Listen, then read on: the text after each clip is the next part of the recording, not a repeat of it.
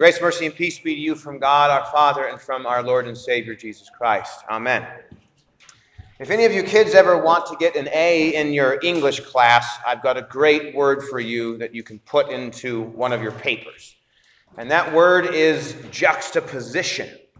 So, for those of you who aren't familiar with this term, juxtaposition is what happens when a writer holds two things up in order to contrast them and highlight their differences. Juxtaposition is a word I've used many times on many papers. I majored in, college, in English in college, so I can guarantee you it works wonders. And there is, of course, a great example of juxtaposition going on in Luke chapter 18. So, in the middle of the chapter, before our words for today from our gospel reading, Luke tells us about the rich young ruler, the man who comes to Jesus asking him what he must do to inherit eternal life.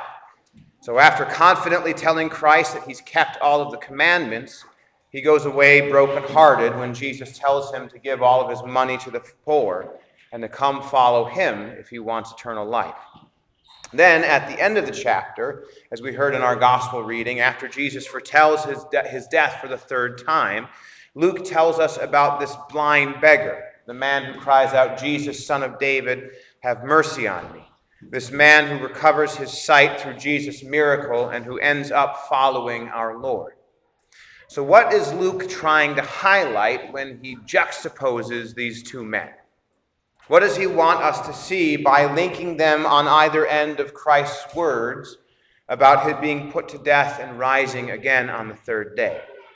Well, ultimately, Luke wants us to see what faith looks like and what it doesn't look like. He wants us to see what it means to leave everything we have and follow Jesus.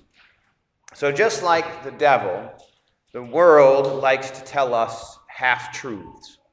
And the world has told this rich young ruler half of the truth. It's told him that God loves him, that God cherishes him, and wants to claim him as his own son for all of eternity. But the world hasn't told this man that the love of God comes from the blood of Christ, as the scriptures proclaim. It doesn't tell him that the only thing that will make him holy is, in fact, the holiness of God's own Son being given to him. Rather, the world has convinced this young man that, he, that his wealth, that he has produced that holiness himself, and that his money, his wealth, and his possessions serve as proof of that. So surely God must love you, the world tells him. Look at how greatly he's blessed you. Look at all the things that you have, all the people you want who want to be around you. Surely this is all proof that you are pious and holy enough for God, that you've perfectly kept the commandments that will bring you eternal life. So when this young man looks at his wealth, he sees proof of his righteousness, proof that he has something to offer to God. This is why when he comes to Jesus with this question about what he must do to inherit eternal life, he's not asking because he doesn't know the answer. He's asking because he thinks he has the answer, that he himself is the answer, that in his possessions and wealth he has proof that he is already worthy of eternal life, and he simply wants to see if Jesus will confirm him in this. But when Christ looks at this man's wealth, he sees it as proof of this man's slavery rather than his righteous. Proof that this man has nothing to offer God but his sin. And so, when Jesus invites this man to sell everything and follow him, he's essentially saying to him, What the world has told you is a lie. You have nothing. You are not righteous or holy. So let go of the lies that your wealth has told you to enslave you and come discover true freedom and true righteousness with me. Get rid of the possessions that can't save you and come follow me to the cross where I will save you. But because the man believes the world over Christ, he won't follow Jesus, won't have faith in him, and therefore won't be saved. Because he'd rather believe what the world tells him, he remains in darkness and condemnation. So then, what do we see in that blind beggar, identified by the name of Bartimaeus in Mark's gospel? Well, again, the world has also told this man a half truth. The world has said, the scriptures tell you that you're a sinner, that you are lost and condemned. And then here comes the lie, and, and that you have no reason to expect God to care about you, to forgive you, or to show you his mercy. And the proof of these things is found in your blindness, in the fact that he, God has left you begging for crumbs on the side of the road, and the fact that the world wants nothing to do with you, that the world looks at you and sees someone to be scorned and pitied. There is the proof that God has no interest in loving you. But the blind man doesn't believe the world. He believes the word of God, which has promised him that the Messiah, the one who is the son of David, will come to give sight to the blind, to give healing to the sick, and to give salvation to the condemned sinners like him. So, when he hears that this Messiah, the son of David, Jesus, is drawing near, the same son of David who's healed so many already, he cries out to that son of David and asks for mercy, asks for something that lowly sinners like him don't deserve, but that God has promised to give them. And so, in performing the miracle, Jesus is ultimately saying to this man, You are quite right. What the world has told you is not true.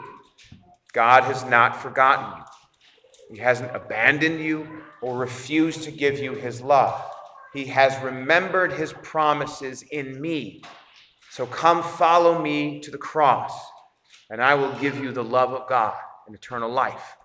Open your eyes and watch as I'm crucified, and as I burst forth from the tomb, and I will give you the right to look upon the face of your Father forever. And this is exactly what Bartimaeus does. So here's the point that Luke is making in this act of juxtaposition. The point he's making in contrasting these two very different and yet similar men. If you want eternal life, you must follow Jesus to the cross.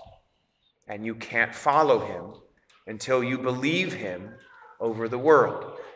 So, like that rich young man, the world tells you that you are holy, that in and of yourself you are without sin, and that you are worthy of everything God has to give. The world looks at you and says, Look at your life. Look at the level of comfort you have, the prosperity that surrounds you. Look at all of these people. Look at how you've never struggled to find a meal or worried about where you'd sleep at night.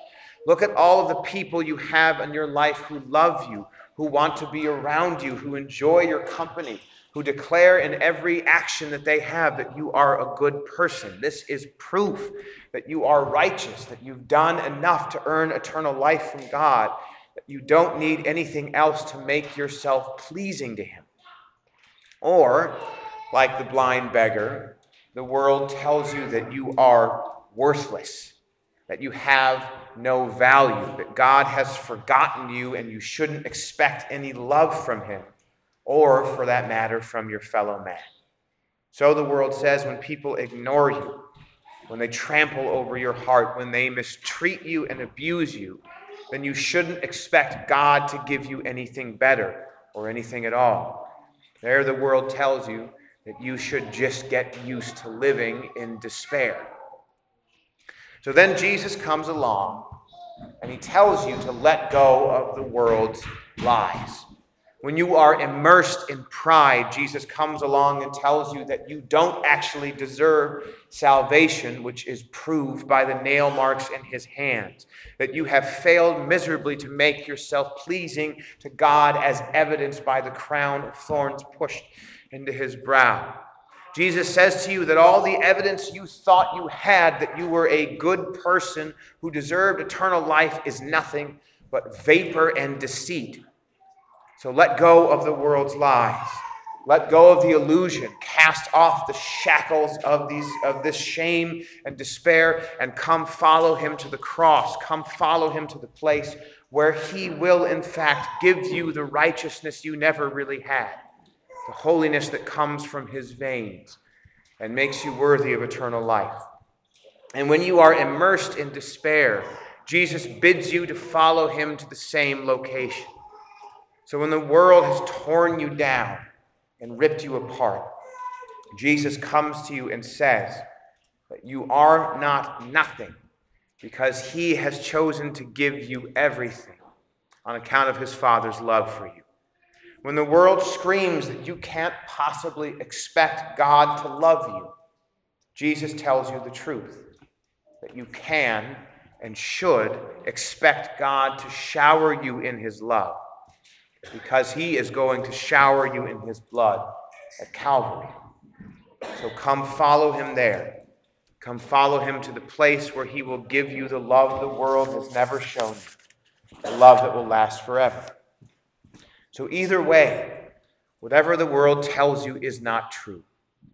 Either way, let go of the world's lies and follow Christ to Calvary, because it's there that both rich young men and poor blind beggars find their salvation. So, if you have everything you want in this life, all of the money, all of the comfort, all of the fulfillment and satisfaction, don't believe for a second that you have everything you need. You don't. You need the perfect obedience to the commandments that only Jesus can give. And he gives it at the cross. You need the righteousness of God that you cannot manufacture. You need the holiness that your sinful hands and heart can't create. But Jesus can create this. He has created it, and He has given you the right to claim it through His death and resurrection. So don't believe the world. Sell everything the world has told you. Go to the cross and see the nail, the nail pierced hands of Jesus, and there you will see that you have everything you need to inherit eternal life. There in His blood, your sins, your pride, your self righteousness have all been taken away drowned in his mercy. There, as Jesus is buried in the grave, he buries your sins along with him. And there, as Jesus bursts forth from the tomb on Easter Sunday, there he shows you that you now have the right to live forever. So leave the world's lies behind. Confess your sins. Receive Christ's absolution. Follow him to the bloody cross and the empty tomb and there you will have eternal life. And if you have nothing in this world, if you're still struggling to put food on the table, if those you love have turned against you, if you find yourself devoured by loneliness and rejection, don't believe for a second that you are worthless or that God has forgotten you. You aren't, and He hasn't. He has remembered his love for you, remembered his promise to be your Savior. And so he sent his only begotten Son into the flesh and into this world to give you these treasures. So follow Christ to Calvary, and there you will find them. Like Bartimaeus, wipe the blindness from your eyes. Open them and look as Christ breathes out his last upon the cross, and there you will see how valuable you are to your Father in heaven. You are worth more to Him than all of the silver and gold of this world, which is why He's giving up for you His only begotten Son to make you His own. For your God, heaven is empty without you.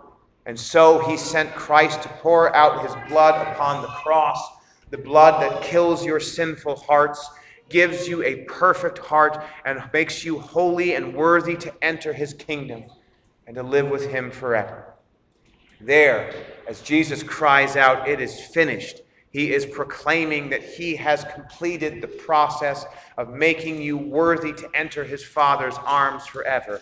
And as Jesus walks out of the grave alive on the third day, there he is giving you the right to let go of the world and to fall into the safety of those divine arms in every single day of your life. So do it. Let go of the world.